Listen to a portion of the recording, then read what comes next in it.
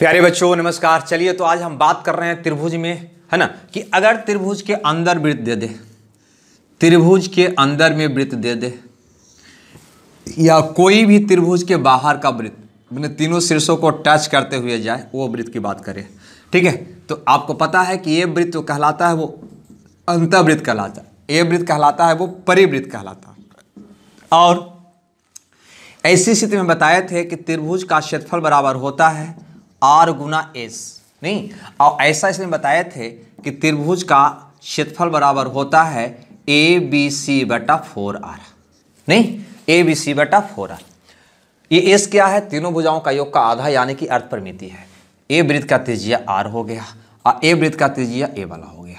ये बात मैंने आपको बता चुका हूँ। आज इसी पे आधारित क्वेश्चन करेंगे। इसके बाद समकोण में आएँगे? उसके बाद संभवों में आएँगे। और ये सारा कंसेप्ट आपको हम दे दिए चलिए तो सीधे आते हैं क्वेश्चन पर। क्वेश्चन क्या कहता है? पहला क्वेश्चन यहाँ पे दिया है, इस पे आधारित कि एक त्रिभुज की अंत त्रिज्या छः सेंटीमीटर है। यानी कि ये त्रिभुज अगर है तो इसका अंदर में जो वृत्त है, इसकी त्रिज्या कह रहा है, दिया हुआ है आर ये वाला आर छः सेंटीमीटर है। कितना है? छः सेंटीमीटर है। तथा इसकी भुजाओं के लंबाई का योग, यानी कि A plus B plus C दिया हुआ है पचास सेंटीमीटर आपसे पूछा गया है कि त्रिभुज का क्षेत्रफल क्या होगा? यानी इस त्रिभुज का एरिया बताओ। अभी बताए हैं कि अंतर्वृत्त का त्रिज्या दे दे तो एरिया होता है त्रिभुज का। आर एस, नहीं, आर गुना एस। तो आर तो हमको पता है एस इसकी मदद से निकल जाएगा। एस तीनों भुजाओं के योग का आधा पचास है तो एस कितना हो जाएगा? पच्चीस, ये भी निकल गया। यानी कि इसका एरिया हो जाएगा छः गुना पच्चीस, यानी कि डेढ़ सौ वर्ग सेंटीमीटर। ठीक है ना? बहुत ही सिंपल क्वेश्चन है, लेकिन फॉर्मूला याद रहने पर, ठीक है? चलिए, इस पर अगला क्वेश्चन देखते हैं। अगला क्वेश्चन क्या कहता है? ठीक है?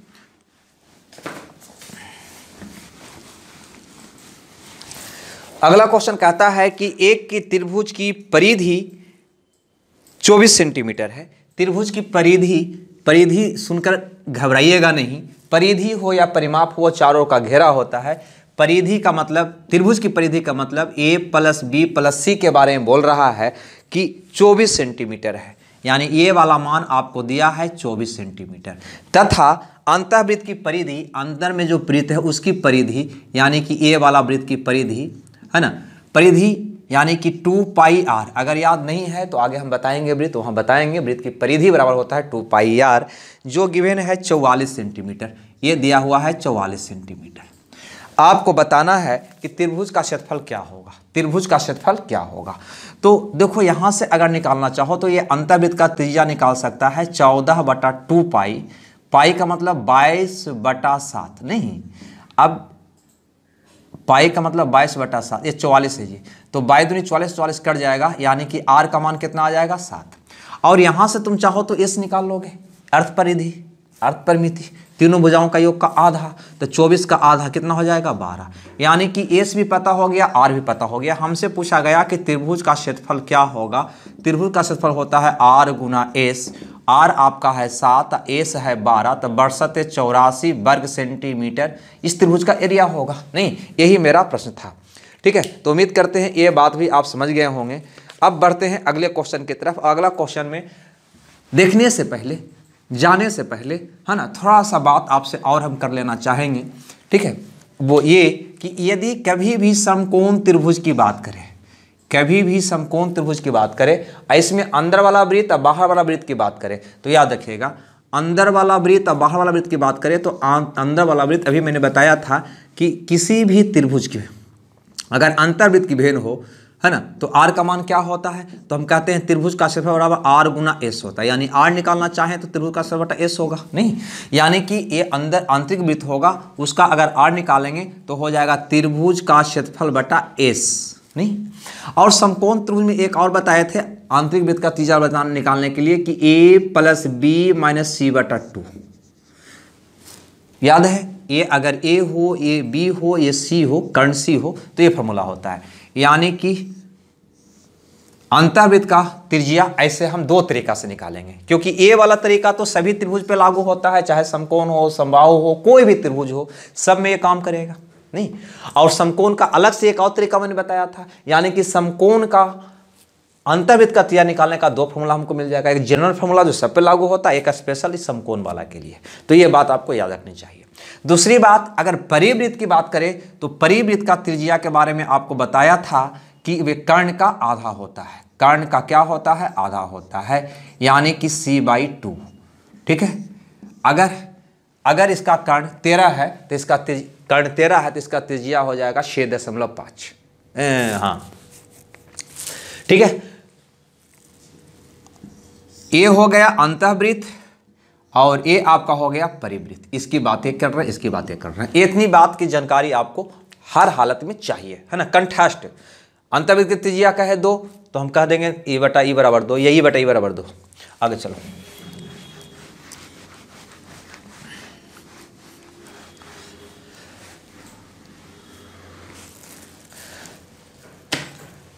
अब यहाँ पे हम बात जो करेंगे, सबसे पहले क्वेश्चन का, कहता है त्रिभुज की अंतर्वृत्त का त्रिज्या ज्ञात करें, अगर उसका एरिया तीस है, यानी कि एक समकोण त्रिभुज दिया है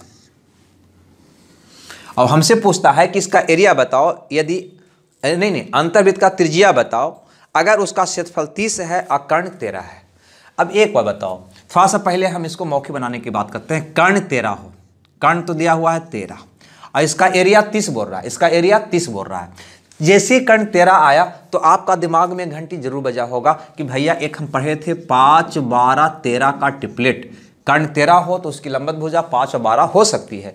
तो अगर हम इसको पाँच या इसको बारह मानते हैं तो क्या ये सर्टिफाइड करता है? तो हम वो भी करके देखना होगा, क्योंकि एरिया बोला था कि तीस है। तो देखो तो अगर लंबत भुजा पाँच और बारह लेते हैं तो इसका एरिया तीस आता है क्या? तो बारह पचे साठ का आधा तीस आ रहा है, यानी कि ये सर्टिफाइड कर रहा है, यानी कि हर हालत में इसकी ये लंबिक जो भुजाएँ हैं, वो पाँच और बारह ही होगा। क्लियर क्या होगा? पाँच और बारह होगा। अब बताओ कि हमसे पूछा था कि अंदर में जो वृत्त है, उसकी त्रिज्या बता दो क्या होगा। यानी आर का मान शोट की आर का मान। ये हम अभी पढ़ चुके हैं कि A plus B minus C बटा टू होता है। नहीं, अब ए हो गया पाँच बी हो गया बारह और सी हो गया तेरह बटा टू कर दीजिए, आपका आंसर आ जाएगा। नहीं तो बारह, पाँच, सत्रह में से तेरह गया चार बटा टू यानी कि टू सेंटीमीटर आपका प्रश्न का जवाब हो गया। ठीक है? यही आपका प्रश्न था दो सेंटीमीटर जो ऑप्शन बी में है। अब एक बार बताओ, ये तो ट्रिपलेट तुमने अनुमान से लगा लिया असेट कर गया। वेरीफाई हम कर लिए कि सही में यही इसका मान है। हो सकता है ये मान नहीं आता, इसका एरिया तीस ना रहता। तब कैसे वेरीफाई करते, बारह पाँच से नहीं हो पाता? तो हम कैसे करते? हैं तो इसके लिए बेसिक भी हमको चाहिए। तो चलो बेसिक से भी इसको बना के देखते हैं कि बेसिक से बनाएँगे तो कैसे बनेगा।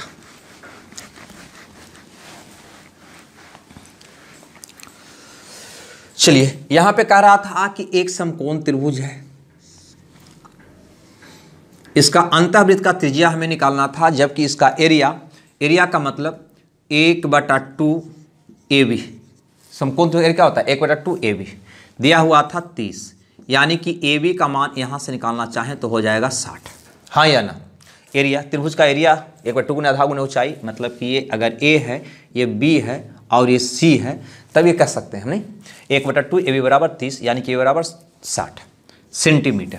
आगे क्या दिया था इसमें जी?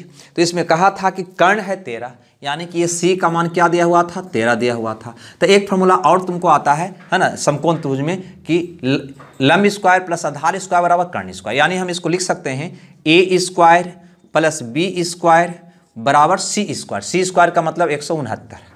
नहीं।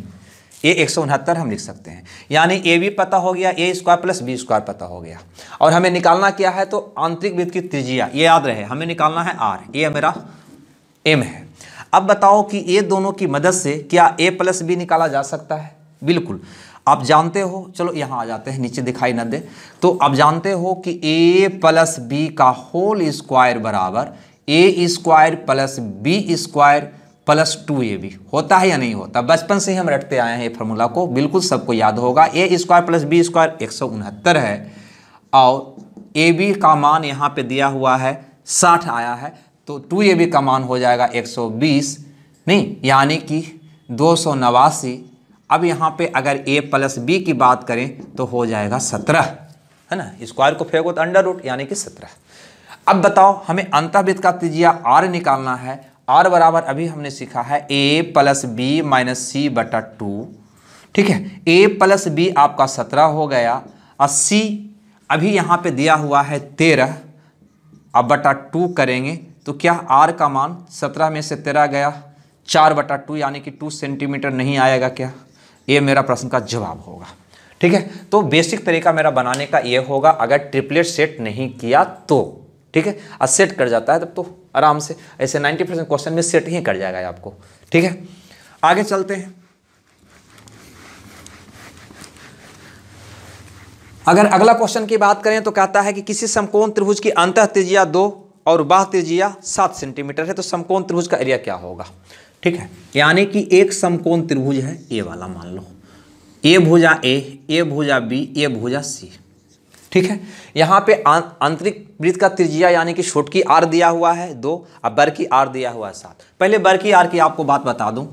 अगर ये समकोण त्रिभुज में है तो इसकी परिवृत्त की त्रिज्या क्या होता है? कर्ण का आधा होता है। ये तो आपको पता ही है। नहीं, यानी कि जो कर्ण है ना, इसका आधा होगा परिवृत्त की त्रिज्या। यहाँ पे कहा है कि परिवृत्त की त्रिज्या सात सेंटीमीटर है।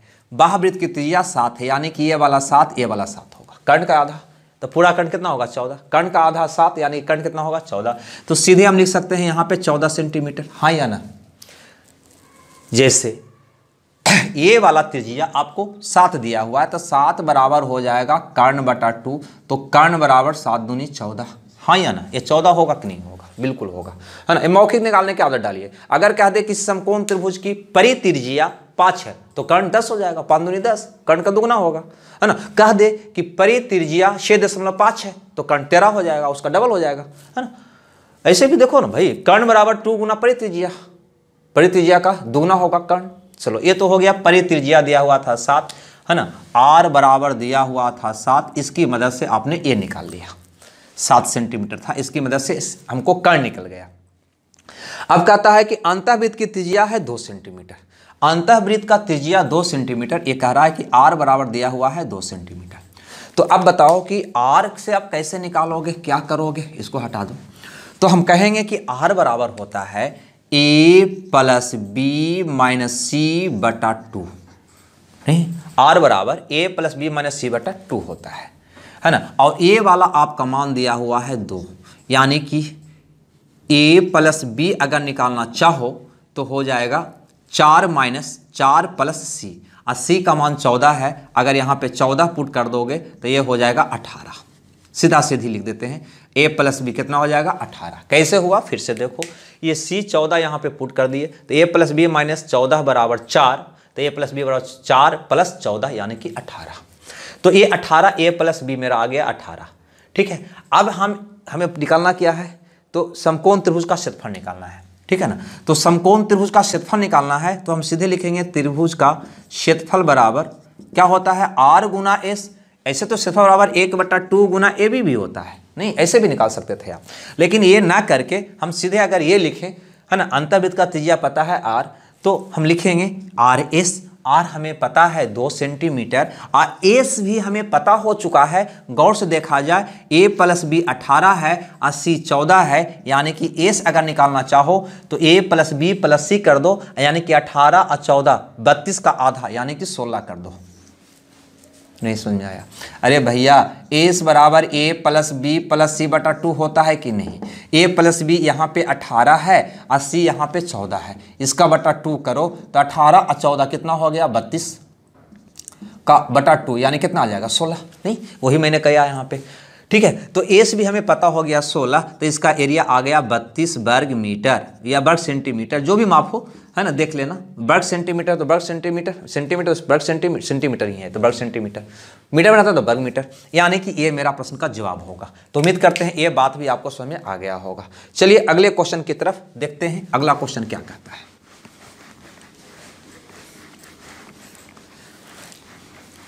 अगला क्वेश्चन यहाँ पे कहता है हाँ उसको, देखिए, अभी जो क्वेश्चन पढ़े उसको, है ना ए प्लस बी का होल स्क्वायर के फॉर्मूला लगा भी हम बना सकते थे, ठीक है? वैसे भी बन जाता है वो। बता दें क्या? देखो, यहाँ पे कह रहा था कि एक समकोण त्रिभुज है। दूसरा तरीका भी देख लो, यही क्वेश्चन का जो हम भी बताए। तो इसमें अगर ए है, ये बी है, ये सी है। हमसे बोला कि इसकी परित्रिज्या सात है, यानी कि कर्ण कितना हो जाएगा? चौदह। ये तो बात समझ रहा है यानी कि इसकी मदद से निकालना चाहो तो कह सकता है A square plus B square बराबर सी स्क्वायर यानी कि चौदह का वर्ग एक सौ छियानवे। लिख सकते हैं कि नहीं? ये पहला मेरा सेंटेंस निकला। दूसरी बात परिधि अंतर्वृत्त की त्रिज्या आर बोल रहा था आर बोल रहा था यहाँ पे कि दो सेंटीमीटर है। तो आर का मान होता है A plus B minus C बटा two A plus B minus C बटा टू ये दिया हुआ है कितना? दो। तो हम कह सकते थे कि ए प्लस बी कितना होगा? तो चार प्लस सी यानी कि अठारह होगा। ए पता हो गया ए पता हो गया। तो यहाँ पे हम ए प्लस बी का होल स्क्वायर का फॉर्मूला लगा देते हैं। ठीक है? वो होता है A square plus B square plus two A B बराबर ए प्लस बी का होल स्क्वायर ठीक है? A square plus B square कितना था? एक सौ छियानवे था। ए बी हमें निकालना है अभी। और ए प्लस बी अट्ठारह अट्ठारह का वर्ग करेंगे तो हो जाएगा तीन सौ चौबीस। यानी कि ए बी का मान निकालो तो कितना होगा? तो तीन सौ चौबीस में से छियानवे घटाओ तो चौदह में से छः गया आठ, ग्यारह में से नौ गया दो। इतना बटा टू हो जाएगा। यानी कि चौंसठ हो जाएगा। ए बी का मान कितना हो जाएगा? चौंसठ। ए बी चौंसठ हो गया, हमें निकालना है त्रिभुज का क्षेत्रफल। तो त्रिभुज का क्षेत्रफल होता है एक बटा टू गुने आधार गुने ऊंचाई, ठीक है?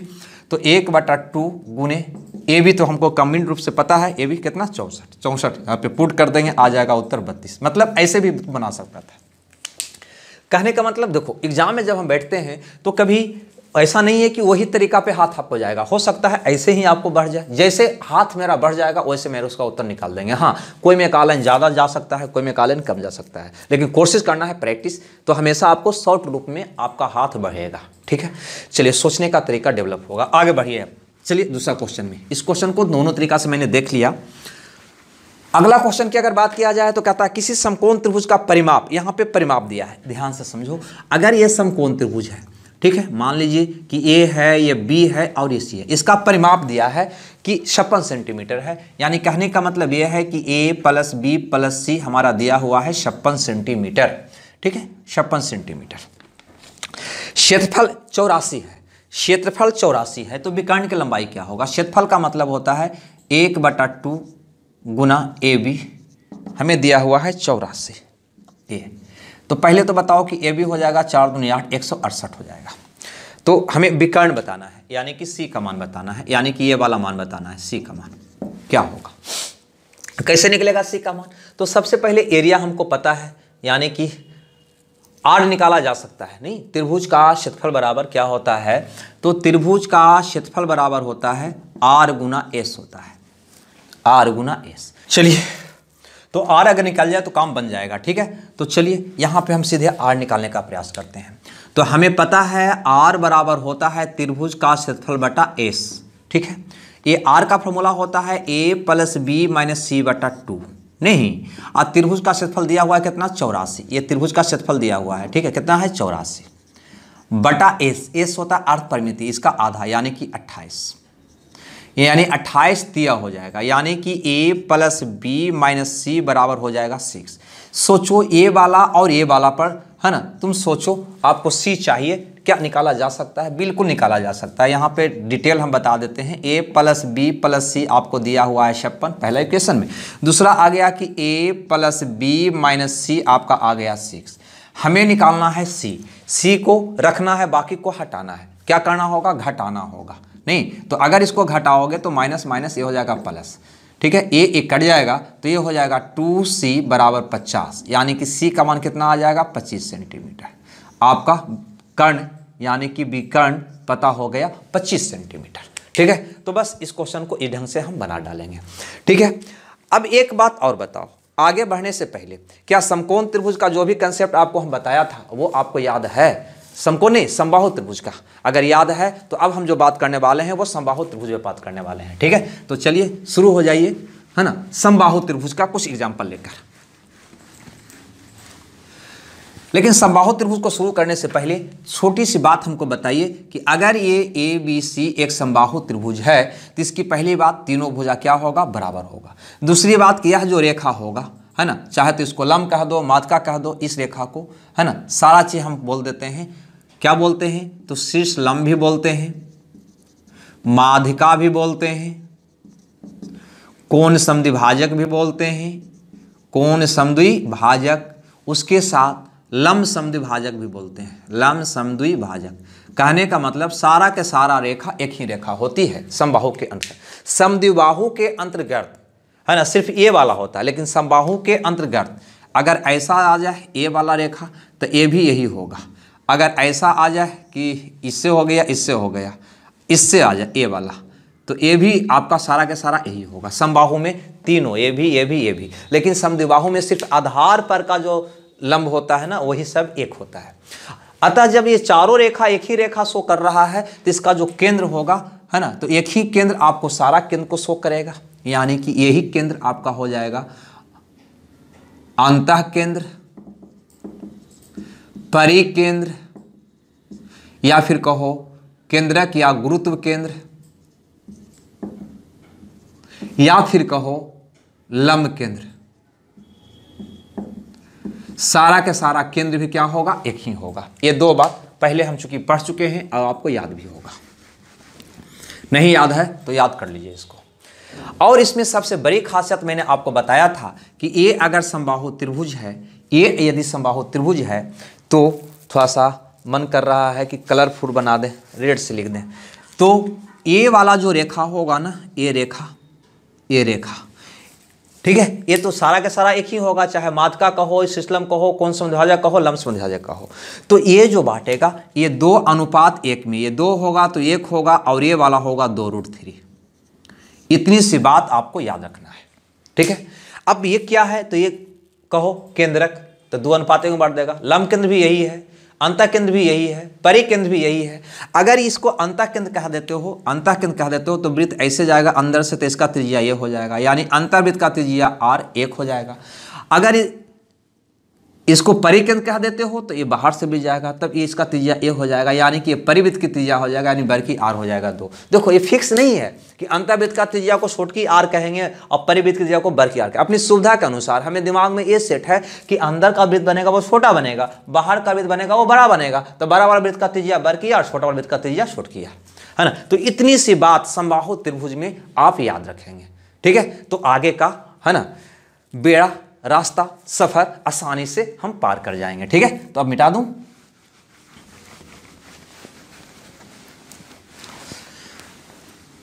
चलिए, देखते हैं। इस पे कुछ एग्ज़ाम्पल सबसे पहले शुरू से करते हैं। कहता है, किसी संबाहु त्रिभुज का परिमाप 18 सेंटीमीटर है, सोचो।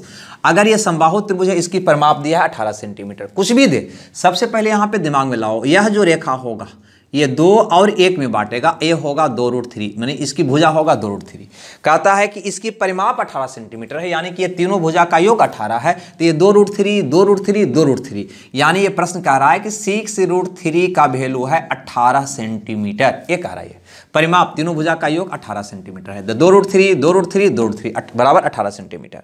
तो इसका मातका की लंबाई क्या है? मातका कहो तो तीन का वैल्यू पूछ रहा है। अगर कहता ऊंचाई की लंबाई क्या है तो यही इसका ऊंचाई होगा, अनुपात तीन का मान। कहता कि कौन समभाजा की लंबाई का मान तो तीन का मान। मतलब सब चीज़ एक ही रेखा होता है तो तीन का मान निकाल दो। क्या होगा? तो अठारह बटा सिक्स रूट थ्री गुना तीन होगा। कटता है भैया तो काट दो। बिल्कुल, ये तीन बार में कट जाएगा। और रूट थ्री से रूट थ्री बार में कट जाएगा। यानी कि थ्री रूट थ्री इसकी मादका की लंबाई होगा। इसका मीडियन कितना होगा? थ्री रूट थ्री होगा। ठीक है? जो ऑप्शन सी में है। चलो, एक क्वेश्चन और है, इसको भी देख लेते हैं। अगर इस क्वेश्चन की बात करें तो कहता है, संबाहु त्रिभुज की माध का सिक्स रूट थ्री सेंटीमीटर है। यानी कि अवर माध का दिया है। कोई बात नहीं। ये रेखा हो गया। है ना? यही माध का कहो इसको, या जो भी कह दो दो, एक, दो रूट थ्री है। अब यहाँ पे इरेशियो होता है संबाहु त्रिभुज में। अब यहाँ पे कहता है कि संबाहु त्रिभुज की माधका है सिक्स रूट थ्री माध का मतलब ये वाला, कितना है? तीन। यानी कि प्रश्न कह रहा है कि तीन का वैल्यू है सिक्स रूट थ्री तो भैया हमको बता दो कि इसका परिमाप क्या होगा। तो दो रूट थ्री दो रूट थ्री दो रूट थ्री कितना हो जाएगा? सिक्स रूट थ्री इसके मान पूछ रहा है। परिमाप यही हो गया। तो सिक्स रूट थ्री बटा तीन गुना सिक्स रूट थ्री अब सोचो रूट थ्री रूट थ्री तीन तीन से तीन कट गया, यानी कि छत्तीस सेंटीमीटर इसका परिमाप क्या होगा? छत्तीस सेंटीमीटर। ठीक है? ये मेरा प्रश्न का जवाब होगा। ठीक है? छत्तीस का मतलब सी आगे बढ़े। चलो, बढ़ते हैं अगले क्वेश्चन की तरफ़। अगला क्वेश्चन की बात करें तो ये कहता है कि किसी संबाहु त्रिभुज की आंतरिक त्रिज्या रूट थ्री है। अब सोचो, अगर ये संबाहु त्रिभुज है तो आंतरिक त्रिज्या की बात किया है? तो सबसे पहले तो ये निकालो। ये आपका होगा दो ए होगा एक ए होगा दो रूट थ्री। आंतरिक त्रिज्या ये होता है, नहीं? तो ये कहता है कि आंतरिक त्रिज्या का मान है रूट थ्री यानी कि इसका वैल्यू दिया है, यानी हम कहेंगे अनुपातिक एक का मान है रूट थ्री अब जिसका मान पूछे, निकाल देंगे। हमसे पूछता है कि त्रिभुज का परिमाप क्या होगा, यहाँ पर भी। तो ये दो रूट थ्री दो रूट थ्री दो रूट थ्री कितना हो जाएगा? सिक्स रूट थ्री ये हमसे मान पूछा। तो क्या होगा? रूट थ्री बटा एक गुना six root three root three और थ्री तीन सका अठारह। यानी कि परिमाप क्या होगा? अठारह सेंटीमीटर मेरा प्रश्न का जवाब होगा। ऑप्शन देखो, अठारह है कोई में तो मार दो। है ना? है ना? ए में है। अगला यहाँ पे क्वेश्चन है। नेक्स्ट क्वेश्चन उसको देखते हैं। अगला क्वेश्चन यहाँ पे कहता है किसी संबाहु त्रिभुज की परिवृत्त का क्षेत्रफल थ्री पाई वर्ग सेंटीमीटर त्रिभुज का परिमाप क्या होगा? सोचो। ये एक संबाहु त्रिभुज है। ठीक है? ये परिवृत्त का मतलब क्या हुआ? तो ए वाला वृत्त। इसका एरिया दिया हुआ है। इसका एरिया क्या होता है? तो इसका एरिया होता है pi R square pi R square इसका मान आपका दिया हुआ है थ्री पाई अब सोचो पाई से पाई कैंसिल हो जाएगा आर का मान हो जाएगा रूट थ्री नहीं, अब यहाँ पे आपको मैं पहले बता चुका हूँ कि ये होता है दो, ये होता है एक, ये होता है दो रूट थ्री नहीं, यानी कि रूट थ्री क्या मान दिया? ए वाला मान दिया. ए वाला मान रूट थ्री दिया है. तो हम इसको कह सकते हैं कि अनुपातिक दो का वैल्यू कितना हो गया? रूट थ्री हो गया. नहीं अनुपातिक दो का मान कितना हो गया? रूट थ्री हो गया। तो त्रिभुज का परिमाप क्या है? परिमाप क्या होगा? तो दो रूट थ्री दो रूट थ्री दो रूट थ्री कितना हो जाएगा? सिक्स रूट थ्री इसका मान निकालना है। निकाल दीजिए। तो रूट थ्री बटा दो गुना सिक्स रूट थ्री क्या कटेगा भाई? हाँ बिल्कुल, ये तीन बार में कट जाएगा। कितना आ गया? तो ये तीन तीन, नौ। परिमाप क्या होगा? नौ सेंटीमीटर आगे देखा जाए अगला क्वेश्चन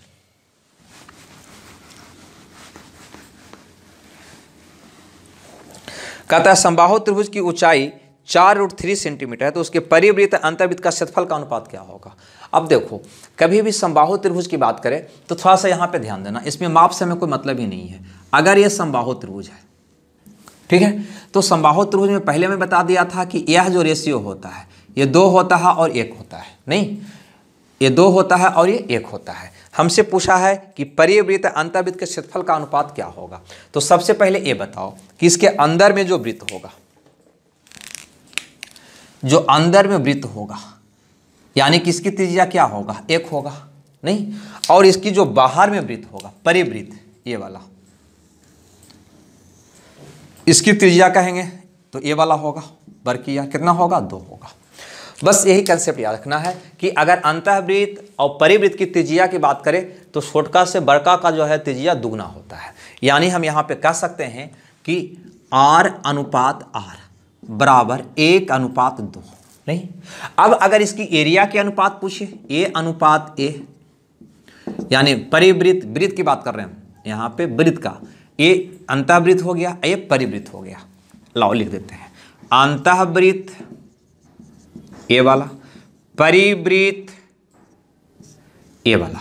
इसकी एरिया की बात करें तो कोई भी वृत्त हो वृत्त का एरिया होता है वृत्त का एरिया होता है pi R square. Pi already constant है। पहले भी क्वेश्चन आया था, उसमें बताए थे। ठीक है ना कि जो कांस्टेंट उसको काट दो। तो एरिया क्या होगा? आर का स्क्वायर होगा। एरिया क्या होगा? आर का स्क्वायर होगा। आर यानी कि अंतवृत्त का त्रिज्या एक है तो इसका स्क्वायर तो एक। परिवृत्त का त्रिज्या दो है तो इसका स्क्वायर करोगे तो चार। यानी इसका एरिया का अनुपात होगा एक, अनुपात चार। बस, कोई भी माप हो, हमें कोई फ़र्क नहीं पड़ने वाला है। ठीक है? तो परिवृत अंतर्वृत्त का क्षेत्रफल का अनुपात सॉरी परिवृत्त अंतर्वृत्त होगा चार अनुपात एक, नहीं? मैंने हम निकाल दिए अंतर्वृत्त परिवृत्त का अनुपात एक, अनुपात चार। तो परिवृत्त अनुपात अंतर्वृत्त होगा चार अनुपात एक। चार अनुपात एक यानी कि ऑप्शन बी आपका करेक्ट होगा। ठीक है?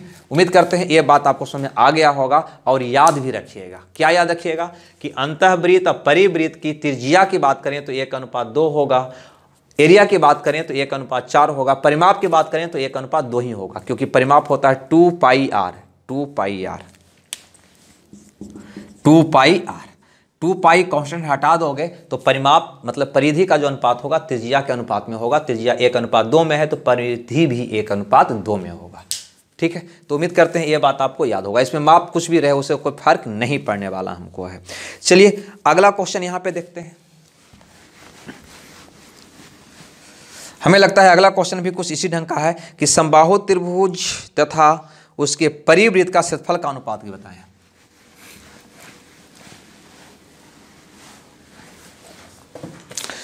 देखो,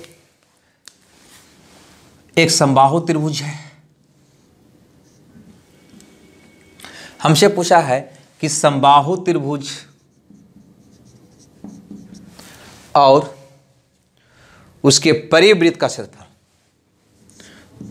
परिवृत्त का क्षेत्रफल का रेशियो बताओ। ये ना है जी परिवृत्त का क्षेत्रफल का रेशियो बताओ। ये हमसे पूछा गया। तो अगर हम इसकी संबाहु त्रिभुज की भुजा हम मान लेते हैं ए तो परिवृत्त का एरिया निकाल सकते हो क्या? बिल्कुल निकाल सकते हैं। ठीक है, ऐसा करते हैं थोड़ा सा।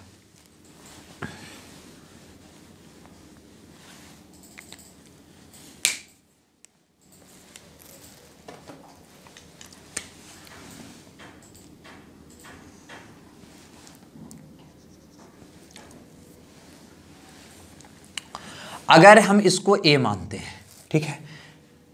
तो ये आपको पता है ना ए होता है दो ए होता है एक ए होता है दो रूट थ्री दो रूट थ्री होता है। ये तो आपको पता है। अगर हम सब में ए लगा दें, है ना? अनुपात के रूप में ए है, ठीक है? तो हम इसको टू ए कह दें, इसको ए कह दें, और इसको ए कह दें। ठीक है? तो सारा से निकल गया। अब संबाहु त्रिभुज का एरिया निकालोगे। अब यहाँ पे देखो कि अगर संबाहु त्रिभुज का एरिया निकालोगे तो क्या होगा? फोर गुने भुजा स्क्वायर। भुजा कितना हो गया? ये हो गया। तो भुजा का स्क्वायर करो तो चार तिया बारह ए स्क्वायर हो जाएगा ये। बारह ए स्क्वायर हो जाएगा। नहीं? अब यहाँ पे परिवृत्त का एरिया। तो परिवृत्त का एरिया कैसे निकालोगे? तो परिवृत्त का त्रिज्या तो ये वाला हो गया। नहीं? Two A. तो इसका एरिया कैसे निकालोगे? तो वृत्त का एरिया जो होता है two pi R pi R square होता है। तो पाई आर स्क्वायर, आर है टू ए तो चार ए स्क्वायर। ठीक है? अब इसको हल कर दीजिएगा, आपका आंसर आ जाएगा। कैसे हल करिएगा? चलिए हल करके आपको बताता हूँ। तो रूट थ्री बटा फोर गुने बारह ए स्क्वायर। इसको गुना करिएगा, ये वाला। तो पाई का मतलब होता है बाईस बटा सात। तो क्या होगा? वो भी उलट जाएगा। सात बटा बाईस गुना चार ए स्क्वायर। अब देखिए तो कटता है तो काट दीजिए। ए स्क्वायर से ए स्क्वायर तो मेरा कट जाएगा। ये चार तिया बारह भी कट जाएगा। नहीं, अब नहीं कटेगा। तो हो जाएगा सतिया इक्कीस रूट थ्री। अनुपात बाईस चौ अट्ठासी। सॉरी यह अनुपात जो है पाई के रूप में ही दिया है। अगर पाई के रूप में दिया है तो पाई के रूप में भी निकाल सकते हो यह तो मेरा आंसर हुआ ही हुआ। अगर पाई के रूप में निकालना होगा तो कैसे निकालोगे? तो अब हम इधर निकाल देंगे इसको। वो भी रहने देते हैं।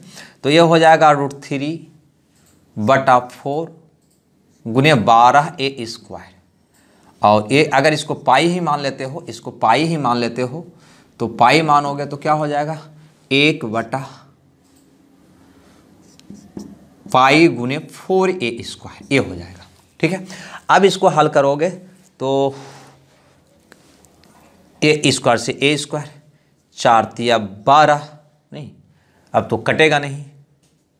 तो हो जाएगा थ्री रूट थ्री, ऊपर में, नीचे में आ जाएगा फोर पाई ये आएगा पाई के रूप में। Three root three, four pi, यानी कि ऑप्शन सी आपका करेक्ट हो जाएगा। ठीक है, बस ऐसे बना लोगे इसको, कहीं कोई दिक्कत नहीं है। अब यहाँ पे एक बात गौर करने वाली था, क्या? कि हमें रेशियो निकालना था। ठीक है? तो जब रेशियो की बात होती है तो ये ए देना क्या ज़रूरी है? नहीं, कोई ज़रूरी नहीं है। अब देखो। अगर हम पहले पढ़ चुके हैं कि कोई भी अगर संबाहु त्रिभुज है तो संबाहु त्रिभुज में ए जो रेशियो होता है, दो होता है, एक होता है, दो रूट थ्री होता है। अब इसी की मदद से सीधे निकाल दो, क्योंकि रेशियो ही निकालना है। तो संबाहु त्रिभुज का क्षेत्रफल क्या होगा? तो हम कहेंगे रूट थ्री बटा फोर गुने भुजा स्क्वायर भुजा कितना है? तो दो रूट थ्री इसका स्क्वायर करोगे तो चार तीन या बारह हो जाएगा। नहीं, यानी कि इसको कह सकते हैं तीन रूट तीन। नहीं, सीधा सीधी चार से कट जाएगा। परिवृत्त का त्रिज्या क्या होगा? तो वृत्त का त्रिज्या होता है पाई आर स्क्वायर होता है, नहीं, पाई आर स्क्वायर तो पाई आर कितना लोगे? तो आर ही वाला लोगे तो दो का स्क्वायर कितना हो जाएगा? चार। चार पाई अब ये कट गया चार तिया बारह, यानी ऊपर में बच गया थ्री रूट थ्री अनुपात फोर पाई आपका प्रश्न का जवाब हुआ। कभी भी रेशियो निकालना है तो इसको एक्स मानने की ये मानने की कोई आवश्यकता नहीं है। लेकिन हाँ वैल्यू निकालना है तो गुणनफल में हमेशा रेशियो को माना जाता है है ना? ये ध्यान दीजिएगा। उसके अंत में कांस्टेंट लगाकर ही हल किया जाता है। आगे बढ़ते हैं अगले क्वेश्चन में।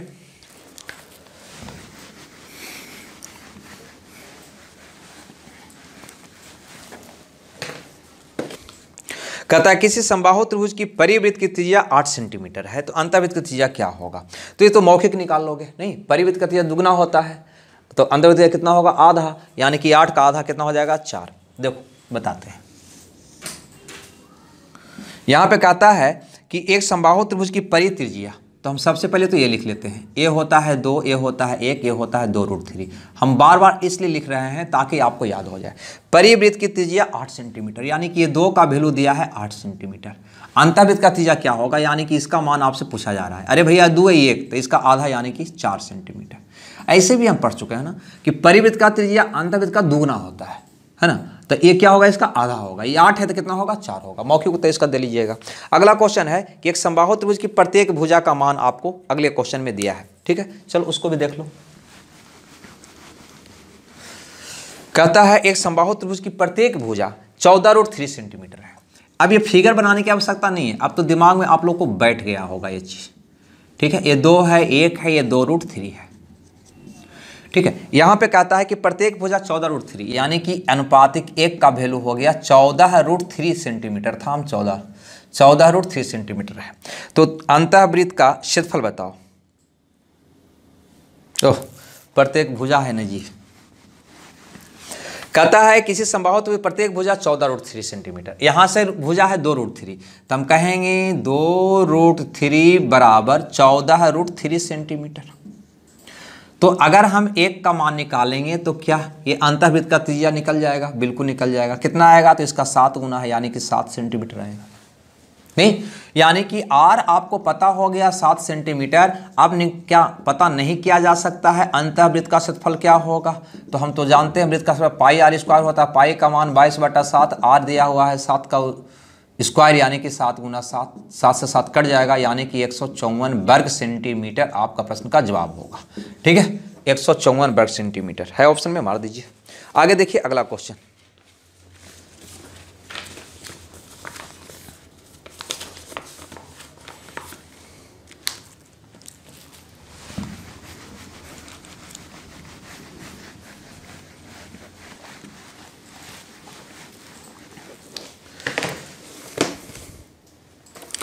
ये कहता है कि एक आठ मीटर भुजा वाला संबाहु त्रिभुज है।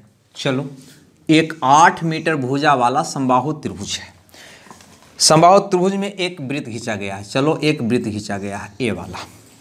तो त्रिभुज के बचे हुए क्षेत्र का क्षेत्रफल क्या होगा? त्रिभुज का जो बचा हुआ क्षेत्र है, उसका क्षेत्रफल क्या होगा? यानी ए वाला का एरिया हमसे पूछ रहा है।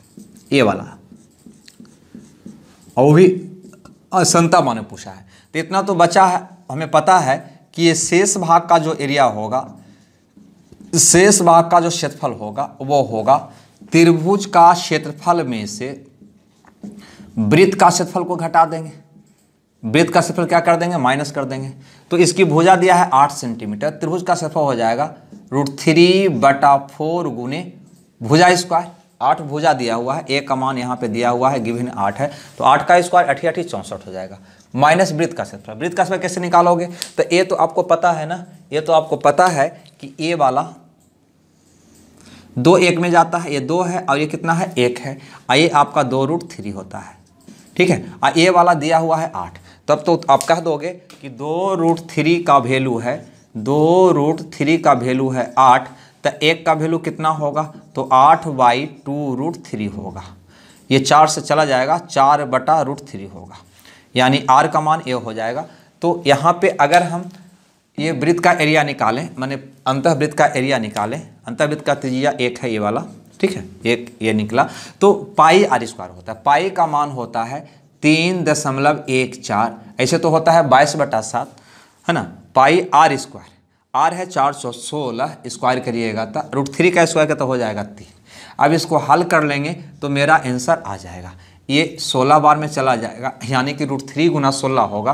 रूट थ्री का मान होता है एक दशमलव सात तीन दो गुना सोलह माइनस यहाँ पे आप आएँगे तो ये हो जाएगा, अगर इसको काटते हैं आप तो एक बार में दशमलव एक में भागने ज़ीरो, है ना तो चार चार तीय बारह है ना एक दशमलव ज़ीरो चार गुना सोलह, ये आएगा। अब इसको गुना कर लें और इसको गुना कर लें, और उसके बाद, है ना, हल कर दें, मेरा आंसर आ जाएगा। ठीक है? अब देखो थोड़ा सा हम ऐसे गुना हम करते हैं, लेकिन हम थोड़ा सा कोशिश करेंगे कि राउंड फिगर में उत्तर निकालना, क्योंकि आसानता मान निकालना है है ना? तो चलो, हम कैलकुलेट यहाँ पे कर देते हैं। सोलह दूनी बत्तीस के दो बाकी तीन सोलती अड़तालीस दूनी इक्यावन के एक बाकी पाँच, सोलह सत्य बलोतर से होता है, नहीं? और पाँच है तो एक सौ सत्रह के साथ बाकी ग्यारह, सोलह इक्कीस सोलह ग्यारह, सत्ताईस। तीन अंक के बाद दशमलव हो जाएगा, नहीं? आ यहाँ पे गुना करेंगे तो सोलह चौ चौंसठ और सोलह सोलह दशमलव चौंसठ हो जाएगा। इसको आप घटाइएगा, है ना? तो इसको एक हटाओ ना। तो ये कितना, ग्यारह में से चार गया सात छः में से छः गया ज़ीरो दशमलव सात में से शो गया एक, दो में से एक गया एक।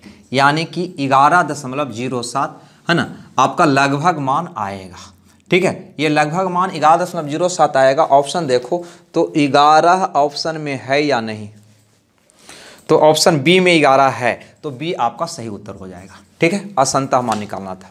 क्लियर? कोई दिक्कत नहीं। आगे बढ़िए, अगला क्वेश्चन में।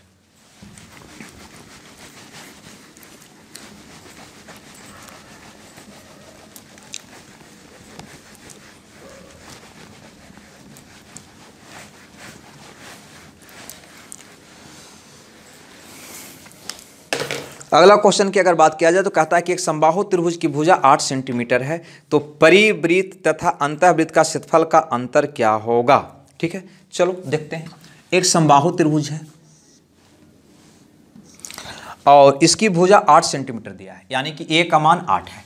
ये तो हमको पता है ना, ए होता है दो, ए होता है एक, ए होता है दो रूट थ्री यानी ये कह रहा है कि अनुपातिक दो रूट थ्री बराबर आठ सेंटीमीटर।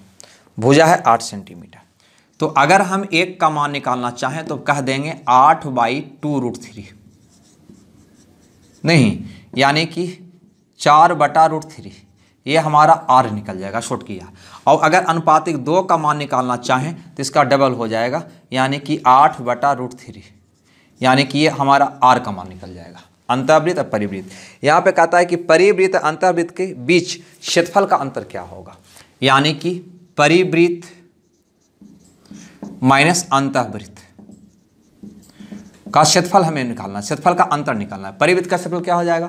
तो कहोगे पाई आर स्क्वायर अंतर्वृत्त का पाई आर स्क्वायर। ठीक है? तो पाई तो कॉमन ले लेंगे तो हो जाएगा R square minus R square. नहीं? अब यहाँ पे थोड़ा सा कैलकुलेशन के लिए, या फिर चलो, शुरू हो जाओ। बाईस बटा सात, आर स्क्वायर कितना होगा? तो चौंसठ बटा तीन होगा। ए वाला आर स्क्वायर कितना होगा? तो सोलह बटा तीन होगा। यानी कि बाईस बटा सात गुना चौदह में से छः गया, ये ना होगा। चौदह में से छः गया आठ, पाँच में से एक गया चार, बटा तीन होगा। सोलतिया अड़तालीस, आपका कट जाएगा। ये आपका प्रश्न का जवाब आएगा। ठीक है? पूर्णांक में है। कोई बात नहीं। तो पूर्णांक में इसको चेंज कर दो। तो सोलह दूनी बत्तीस के दो बाकी तीन, सोलह दूनी बत्तीस और तीन पैंतीस बटा सात। यानी कि आपका हो जाएगा सात पचे पैंतीस, पचास पूर्णांक दो बटा सात। चलिए आगे का क्वेश्चन देखते हैं। अगला क्वेश्चन क्या कहता है?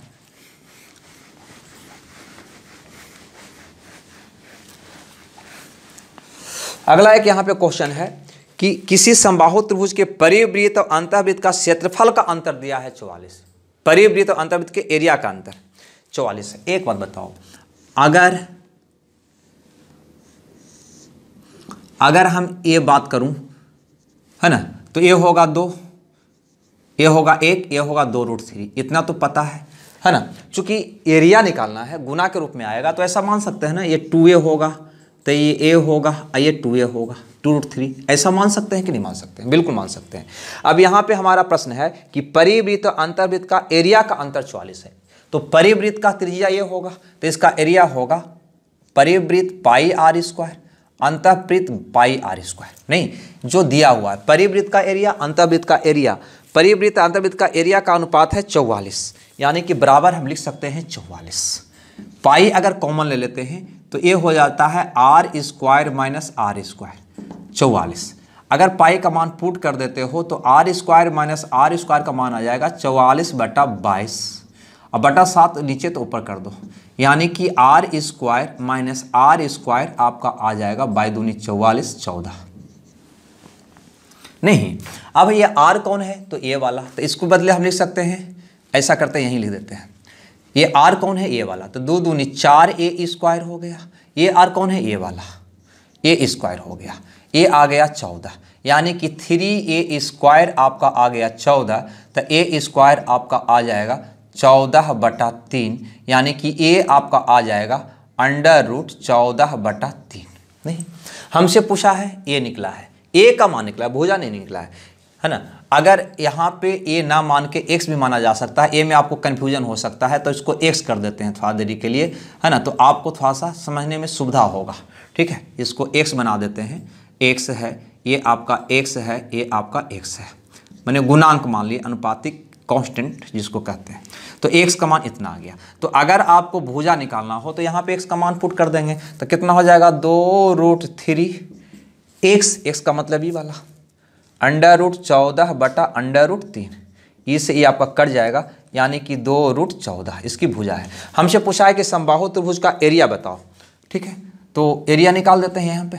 तो त्रिभुज का एरिया क्या होगा? तो हम कहेंगे रूट थ्री बटा फोर गुने भुजा स्क्वायर भुजा हमको ये पता हो गया है तो दो दूनी चार गुना चौदह। नहीं, इसका स्क्वायर चार और रूट चौदह का स्क्वायर चौदह होगा। काट दो, चार से चार, यानी कि चौदह रूट थ्री आपका प्रश्न का जवाब होगा। सेंटीमीटर में है तो वर्ग सेंटीमीटर मीटर में है तो वर्ग मीटर। चौदह रूट थ्री ऑप्शन देखकर आप मार सकते हैं। हाँ सी में है। चलिए, आगे कुछ इजी क्वेश्चन और है, उसको भी देख लेते हैं। संबाहु त्रिभुज में ज़्यादा कुछ करने की आवश्यकता हमें नहीं है, ठीक है? यहाँ पे कहता है, अगला क्वेश्चन कि किसी संबाहु त्रिभुज की, ये तो हो गया ना? हाँ किसी संबाहु त्रिभुज की ऊंचाई पंद्रह सेंटीमीटर है। यानी कि एक संबाहु त्रिभुज यहाँ पे दिया हुआ है। जो इन संबाहु की बात आवे तो ये तो हमको पता ही है ना? ये होता है दो, ये होता है एक, ये होता है दो रूट थ्री हमसे बोला कि ऊंचाई जो है पंद्रह सेंटीमीटर पहले बोल रहा था माध का। तो माध का भी यही होता है, ऊंचाई भी यही होता है। यानी कि ये तीन का वैल्यू हमें एक तरह से बताना चाह रहा है। ये तीन का वैल्यू बताना चाह रहा है कि पंद्रह सेंटीमीटर है। तो आपको बताना है कि त्रिभुज का क्षेत्रफल क्या होगा, यानी कि एरिया बताना है। कोई बात नहीं। हम पहले हम दो रूट थ्री निकाल लेते हैं। तो दो रूट थ्री का मान निकालोगे, जो इसकी भुजा होगा, कितना होगा? पंद्रह बटा तीन गुने दो रूट थ्री होगा। ठीक है? ये पाँच से ये कट जाएगा, यानी कि दस रूट थ्री हो जाएगा। क्या? भुजा। नहीं, ये क्या निकल गया? इसकी भुजा निकल गया। रूट थ्री का मतलब इसकी भुजा निकल गया। हमको संबाहु त्रिभुज का क्षेत्रफल चाहिए था। क्षेत्रफल क्या होता है? रूट थ्री बटा फोर गुने भुजा स्क्वायर। इसका स्क्वायर करो तो हो जाएगा सौ रूट थ्री का गुना तो तीन हो जाएगा। ये पच्चीस चौ सौ कट जाएगा, यानी पच्चीती या पचहत्तर रूट थ्री वर्ग सेंटीमीटर या वर्ग मीटर जो भी हो, वो आपका आंसर हो जाएगा। सेंटीमीटर में है तो वर्ग सेंटीमीटर।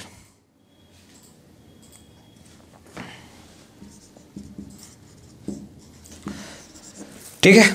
चलो आगे अगला क्वेश्चन अगला क्वेश्चन देखा जाए तो ये कहता है कि किसी संबाहु त्रिभुज का सिस्टम दिया है। कोई बात नहीं। सिस्टम का मतलब ऊंचाई ही होता है। सिस्लम का मतलब ऊंचाई होता है। तो उसका क्षेत्रफल क्या है? तो सिस्लम क्या है ऊंचाई क्या है बात एक ही। है तो उम्मीद करते हैं ये वाला क्वेश्चन आप बना लेंगे। या तो इसको हम छोड़ रहे हैं। चलिए तो इस क्वेश्चन को देखते हैं।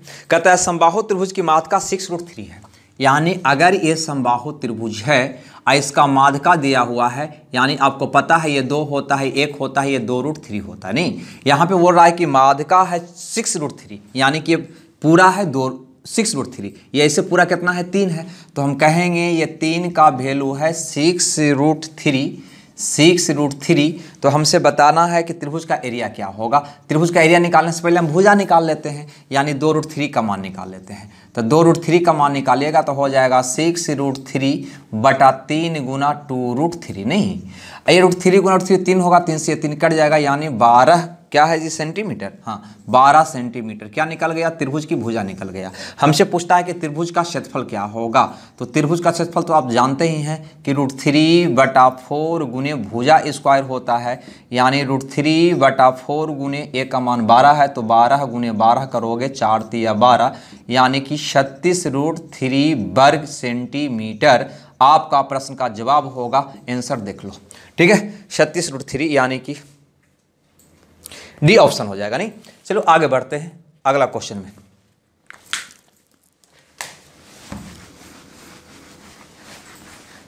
अगला क्वेश्चन यहाँ पे दिया है, एरिया, है ना? क्षेत्रफल दिया है, अब हमसे मात का पूछता है, कोई बात नहीं। चलिए, पहले तो संबाहु त्रिभुज बनाए। ये तो हमको पता है ना? ये तो हमको पता है, ये दो होता है, ये एक होता है, ये दो रूट थ्री होता है। ठीक है? ये हम जानते हैं। अब यहाँ पे एरिया दिया। एरिया क्या होता है? समबाहु त्रिभुज का तो हमको पता है रूट थ्री बटा फोर गुने भुजा स्क्वायर ये वाला मान हमको दिया हुआ है नौ रूट थ्री वर्ग मीटर। हमसे मातका की लंबाई पूछता। है एक बार बताओ कि चूँकि ए स्क्वायर भुजा यहाँ पे टू रूट थ्री का स्क्वायर नहीं रख सकते हैं, क्योंकि ए गुना ए कर रहे हो। इसके लिए हल करने के लिए पहले हमको इसको मानना होगा। Root three two root three X तो इसको मान लेना है एक्स इसको मान लेना है टू एक्स ठीक है? अब हल करो। तो हल करोगे तो क्या करोगे कि रूट थ्री बटा फोर गुने ए स्क्वायर यानी कि भुजा के स्क्वायर कितना होगा? चार तिया, बारह एक्स स्क्वायर बारह एक्स स्क्वायर बराबर नौ रूट थ्री कटेगा जी? रूट थ्री से रूट थ्री आपका कट जाएगा, है ना? ये तीन, चार तिया, बारह ये तीन बार में कट जाएगा। नहीं एक्स स्क्वायर बराबर तीन तो एक्स बराबर हो जाएगा रूट तीन ठीक है? ये एक्स का मान निकला। हमसे पूछा कि माध्यिका की लंबाई बताओ। अब तुम ही बताओ माध्यका। माध्यका मीन्स ये वाला। है ना? यही इसका ऊंचाई होता है, यही इसका माध्यका होता है, यही इसका सिस्टम जो भी कहो ना, यही होता है। तो कितना होगा माध्यका? Two X X three X होगा। थ्री एक्स होगा। एक्स का मान पुट करोगे तो थ्री रूट थ्री होगा। इतना मीटर माध्यका की लंबाई होगा। ठीक है? Three root three metre. Option में है तो मार दीजिए, थ्री रूट थ्री बी में है तो बी आपका सही उत्तर होगा।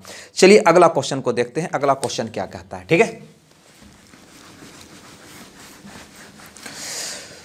कहता है, संबाहु त्रिभुज एक के अंदर एक वृत्त है। चलो, ये कह रहा है कि एक संबाहु त्रिभुज है।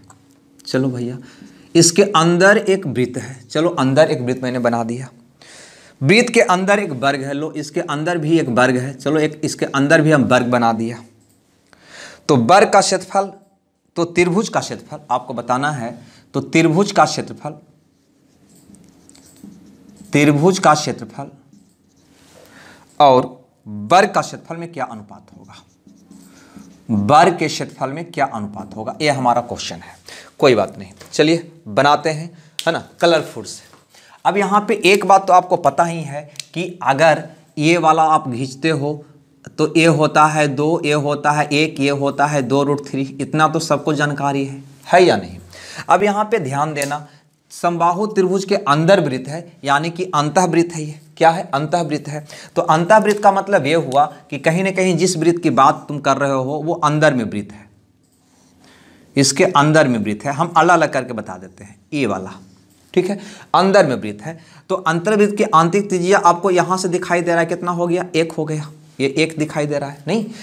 एक दिखाई दे रहा है। अब थोड़ा सा और यहाँ पे देखो। अगर ये अंतर्वृत्त का त्रिज्या ये है ये वृत्त के अंदर वर्ग है। अगर ये वृत्त के अंदर आप वर्ग बनाओगे, वृत्त के अंदर अगर आप वर्ग बनाओगे तो ये वर्ग का विकर्ण कौन होगा? सो बता दो। तो ये वर्ग का विकर्ण कहीं ना कहीं ये होगा। ऐसे ऐसे नहीं। तो बर का विकर्ण यानी कि वृत्त का व्यास हो जाएगा। अब वृत्त का ये त्रिज्या है एक तो ये भी एक, ये भी एक। यानी कि बर का विकर्ण जो होगा वर्ग का विकर्ण जो होगा, कितना हो जाएगा? दो हो जाएगा। कितना हो जाएगा? दो हो जाएगा। जब बर का विकर्ण जो होगा और बर का विकर्ण बराबर आपका फॉर्मूला पता होगा। बर का विकर्ण बराबर होता है रुटू गुने भूजा। नहीं ये है आपका दो। तो ये रूट टू से ये दो कट जाएगा रूट टू बार में, यानी कि वर्ग की भुजा आ जाएगा रूट टू नहीं वर्ग की भुजा क्या आ जाएगा? रूट टू यानी जिसकी बात कर रहा है है ना, उसका हमने सारा चीज़ पता हो गया। हमें संभाव त्रिभुज का एरिया चाहिए, जो होता है रूट थ्री बटा फोर गुने भुजा स्क्वायर भुजा ये हो गया, है ना, इसका स्क्वायर करोगे तो चार तिया बारह हो जाएगा। और वर्ग का भुजा वर्ग का एरिया क्या होता है? भुजा स्क्वायर इसका भुजा कितना है? रूट टू रूट टू का स्क्वायर करोगे तो ये हो जाएगा दो. काटोगे ये तीन बार में. यानी कि थ्री रूट थ्री अनुपात दो. आपका प्रश्न का जवाब होगा. ठीक है? कुछ भी नहीं करना था इस क्वेश्चन में. बहुत आसान सा क्वेश्चन था. और यह ऑप्शन सी में हमें दिखाई दे रहा है. अगला क्वेश्चन देखो. अगला क्वेश्चन क्या कहता है?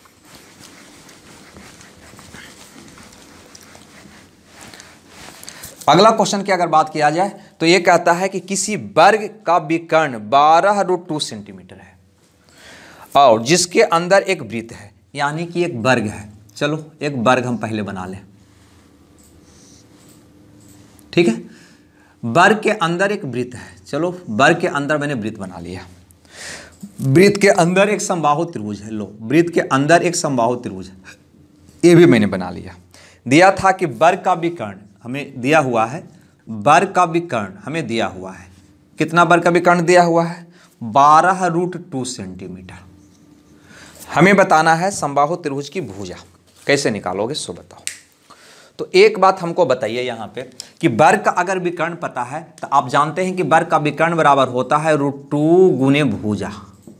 आ, ए गिवन है बारह रूट टू। तो रूट टू से रूट टू आपका कट जाएगा, यानी कि वर्ग की भुजा आपका आ जाएगा बारह। नहीं वर्ग की भुजा कितना आ जाएगा? बारह आ जाएगा। अब थोड़ा सा इसको हम निकालते हैं। वर्ग के भीतर है ये वृत्त, ठीक है? तो चलो वर्ग के भीतर अगर ये वृत्त है तो ये आपका वर्ग है, नहीं। आ, इसके भीतर अगर आप वृत्त बनाते हो तो सबसे पहले हमको बताइए कि ये वृत्त का व्यास कौन होगा? तो कहोगे इसका व्यास या त्रिज्या तो ये होगा। त्रिज्या हो गया। ये हो गया। नहीं? और ये इसकी भुजा तुम पता कर लिया बारह। यानी कि ये बारह हो गया। ये क्या हो गया? बारह। तो ये जो अंदर में वृत्त है, उसकी त्रिज्या हो जाएगा शेष। नहीं, कितना होगा? शेष होगा। यानी कि ये त्रिज्या कितना हो जाएगा वृत्त का? छे चलो वृत्त का निकल गया। वृत्त के अंदर क्या है? संबाहु त्रिभुज। तो वृत्त के अंदर अगर संबाहु त्रिभुज है, ये आपका वृत्त है। इसके अंदर अगर आप संबाहु त्रिभुज बनाते हो, ठीक है?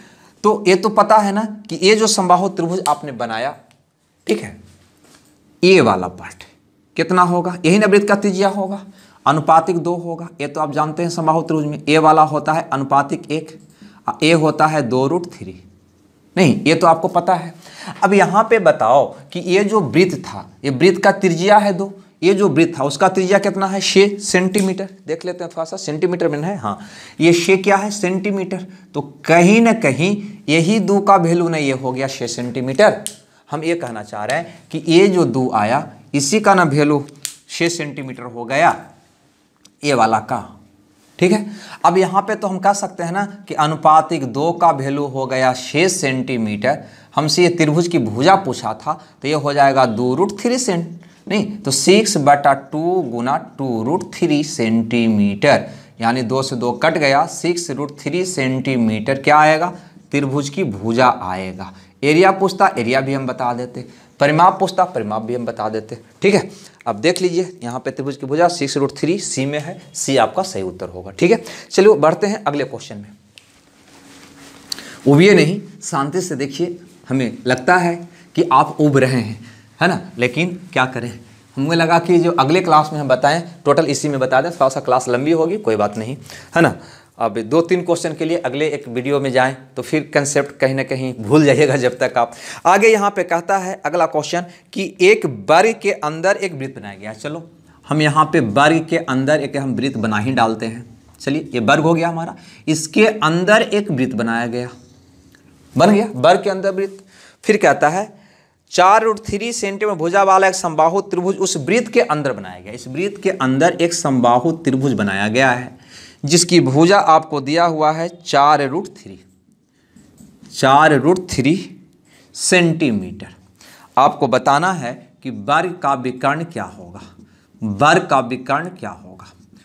देखिए, ये सारे क्वेश्चन, है ना, चूँकि हम जब भी बहुत बार लगते रहे हैं तो ट्रायंगल, है ना, पढ़ रहे हैं, फिर आयत और वर्ग पढ़ेंगे हम, और उसके बाद वृत्त पढ़ेंगे हम तो वृत्त में रखते थे। वृत्त में रखने से सुविधा ये मिलता था कि हमें त्रिभुज के बारे में जानकारी मिल गई वर्ग के बारे में जानकारी मिल गई, वृत्त के बारे में जानकारी मिल गई। अब तीनों से मिला हुआ क्वेश्चन यहाँ पे था। लेकिन कहीं ना कहीं अभी हम संबाहु त्रिभुज का कंसेप्ट पढ़ रहे थे, इसीलिए यहाँ पे हम इसको रखना, है ना? ज़्यादा उसे समझा कि ज़्यादा समझ में आएगा, इस वजह से क्वेश्चन को हम यहाँ पे रखे हैं। ठीक है? क्योंकि मेरा क्वेश्चन रखने का एक तरीका ही अलग होता है, ताकि स्टेप बाय स्टेप उसको हम सीख सकें गेन कर सकें। नहीं, ऐसा नहीं कि जोड़ के बाद स्वाभाविक है, घटाव होना चाहिए। घटाव के बाद गुना, और तब होना चाहिए भाग। नहीं, लेकिन चूँकि मिली हुई में कभी भाग मिलेगा, कभी पहले गुना, है ना?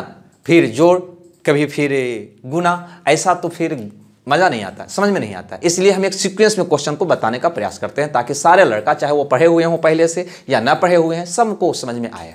ठीक है? इसलिए मेरा क्वेश्चन आसान लगता है तो सब लोग को कहना भी होता है कि, सर, आप लेवल थोड़ा सा बढ़ाइए। अरे लेवल क्या बढ़ाएँ? क्वेश्चन तो सारा हम करवा ही रहे हैं, लेकिन स्टेप में करवाने का नतीजा ये है कि कहीं ना कहीं सारा का सारा ईजी हो जाती है। दूसरी बात कि आप देखे होंगे हम, जो हम अभी आजकल हम देख रहे हैं, जो टाइडेंस चला हुआ है है ना?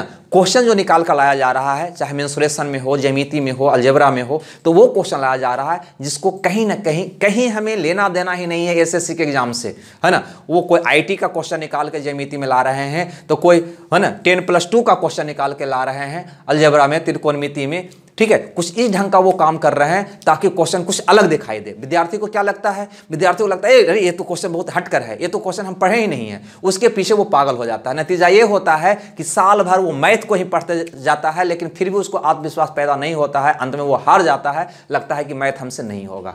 लेकिन हकीकत वो नहीं है। हकीकत तो है कि अंडर टेन का सिलेबस आपका एग्ज़ाम में आना है। अंडर टेन अंडर टेन याद रखिएगा। चाहे जमीती हो अलजेबरा हो मेंसुरेशन हो, कोई भी हो, है ना? अंडर टेन तक ही आएगा। ये जो सिंपल कॉमन सेंस की बात है, सोच सकते हैं। बीए पर सीजीएल निकलता ज़रूर है, स्नातक पर निकलता ज़रूर है। क्या उसमें बोनेशन है कि कोई बीएससी जो साइंस से रहेगा मैथ से रहेगा, वही उस फार्म को भरेगा? नहीं। इतिहास से भी जो बीए किया है, वो भी उस फार्म को भरेगा। तब बेचारा इतिहास से जो बीए किया है, वो मैट्रिक से मैट्रिक के बाद तो मैथ पढ़ा ही नहीं। इंटर किया वो आइए किया था, है ना? फिर बीए किया है मैथ अगर नहीं पढ़ा है तो फॉर्म नहीं भरेगा क्या? वो एग्ज़ाम नहीं देगा क्या? देगा या नहीं देगा? अगर देगा तो कौन क्वेश्चन पूछेगा? जो अंडर टेन का होगा, जो वो पढ़ा है है ना? क्योंकि कंपटीशन सबके लिए एक समान होती है है ना? ये नियम का खिलाफ कभी नहीं बोल जा सकता है। इसलिए इस दिमाग से, इस भ्रमित जो दिमाग है हाँ एकावार, एका क्वेश्चन अटपटा आपको दिखाई देता है तो देता है। उसके चलते अपना आत्मविश्वास को मत खोएँ, है ना? आत्मविश्वास बरकरार रखें। और प्रीवियस क्वेश्चन ज़्यादा तौर पे बनाएँ आप, है ना? आलतू फालतू प्रैक्टिस सेट से बचें और प्रीवियस बनाएँ, आपको ज़्यादा फ़ायदा करेगा। ठीक है? चलो, बकवास करने का आदत है, अगर शुरू हो जाएँगे तो आधा घंटा बकवासे करते रह जाएँगे। यहाँ पे देखिए, यहाँ पे कहा था कि वर्ग के भीतर वृत्त है वृत्त के भीतर संबाहु त्रिभुज है। तो चलिए, फिगर को हम अलग करके देखते हैं। अगर ये संबाहु त्रिभुज है, अगर ये संबाहु त्रिभुज है, तब तो हमको ये पता है कि ये दो होता है एक होता है, ये दो रूट थ्री होता है। नहीं और दो रूट थ्री का मान दिया हुआ है चार रूट थ्री सेंटीमीटर। तो हम कह सकते हैं कि दो रूट थ्री का वैल्यू अगर चार रूट थ्री सेंटीमीटर है तो एक का वैल्यू क्या होगा या दो का वैल्यू क्या होगा? सबसे पहले बताओ, दो का वैल्यू क्या होगा? तो कहोगे चार रूट थ्री बटा टू रूट थ्री गुना दो होगा। नहीं तो ये रूट थ्री दो से ई वाला कट जाएगा, यानी कि चार सेंटीमीटर आएगा। ये चार सेंटीमीटर क्या आया? तो आप कहोगे परिवृत्त का त्रिज्या आया। यानी कि इसके ऊपर जो वृत्त रहा होगा, ये वाला, ठीक है ना? इसकी त्रिज्या आया। यानी कि ये दो का वैल्यू आया चार सेंटीमीटर इस बात से सहमत हो या नहीं हो? ये वाला, ये आया चार सेंटीमीटर। यानी कि ये वृत्त का त्रिज्या हमारा निकल गया चार सेंटीमीटर। ये जो वृत्त था, इसका त्रिज्या निकल गया चार सेंटीमीटर। वृत्त कहाँ है? तो वर्ग के भीतर है। यानी कि यहाँ पे हमारा वर्ग है, और ये वर्ग के भीतर हमारा वृत्त है। नहीं, ये वर्ग के भीतर हमारा वृत्त है। अब तुम सोचो, वृत्त का जो व्यास रहा होगा, ये वाला, है ना? वही तो ये वर्ग का भुजा रहा होगा। और ये वृत्त का त्रिज्या पता कर लिए कितना? दो। यही ना त्रिज्या है वृत्त का? वृत्त का त्रिज्या पता कर लिए दो। यानी कि सॉरी चार। कितना? चार सेंटीमीटर। तो अगर ये चार सेंटीमीटर है, ये चार सेंटीमीटर तो ये भी चार होगा। यानी कि ये पूरा भुजा आपका जो बर का होगा, वो आठ सेंटीमीटर का होगा। नहीं, हमसे क्या पूछा गया था? बर का विकर्ण। अब तुम्हें बताओ कि बर का विकर्ण क्या होगा? तो हम कह देंगे, बर का विकर्ण बराबर रूट टू गुने भुजा होगा। नहीं, भुजा आ गया आठ तो आठ रूट टू सेंटीमीटर है ना, देख लीजिएगा, है ना? ये हमारा प्रश्न का जवाब होगा, आठ रूट टू सेंटीमीटर। आठ रूट टू यानी कि ऑप्शन सी आपका सही होगा। तो ये हम त्रिभुज का, है ना, पहले कंसेप्ट सीखा, उसके बाद उस पर ढेरों एग्ज़ाम्पल मैंने किया, ठीक है? और एग्ज़ाम्पल अगर बनाना चाहें तो मेंसुरेशन में इतना एग्ज़ाम्पल बन सकता है कि एक तरफ़ पूरा अर्थमेटिक हो जाए, और एक तरफ़ मेंसुरेशन हो जाए, तभी मेंसुरेशन का एग्ज़ाम्पल कमेगा नहीं, ठीक है? उतना हमें नहीं करना है। अगर मैं मेंसुरेशन से दो चार सवाल हमें आते एग्ज़ाम में तो बस ये काफ़ी है। सारा टाइप का क्वेश्चन मैंने करवाया है। अगर इतना आप कर लेते हैं तो हम ना समझते हैं कि इससे आपको क्वेश्चन छूटने वाला है। ठीक है? तो मिलते हैं अगले क्लास में। जब तक लिए खुश रहिए मगन रहिए। ओके? Bye bye